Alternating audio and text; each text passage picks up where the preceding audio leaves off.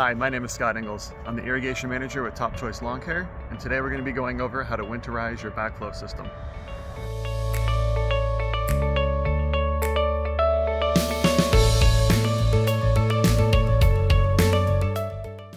Today we're going to show you how to winterize your above ground RP irrigation backflow device. First, what you want to do is you want to locate your isolation valve. Your isolation valve should be in a green box located behind your backflow device.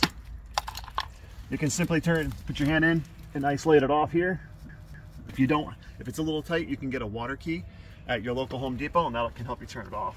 If you don't have one of these backflow devices or these isolation valves, you can turn it off here, what's known as the first check or the first ball valve. It's easy to locate because it's the one that has one of these test ports right above it.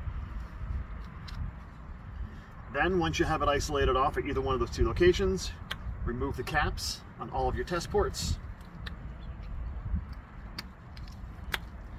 You can store these away inside your garage or somewhere in your home that you can find easily later. Turn on the, turn on the ball valve down here at the bottom. Water will drain out, that's perfectly fine. And then open each one of your test ports. And again, water dumping out of the bottom is perfectly fine. It's designed to do that. I recommend opening the one down here first. That way when you open these, you don't get splashed with water like I did earlier.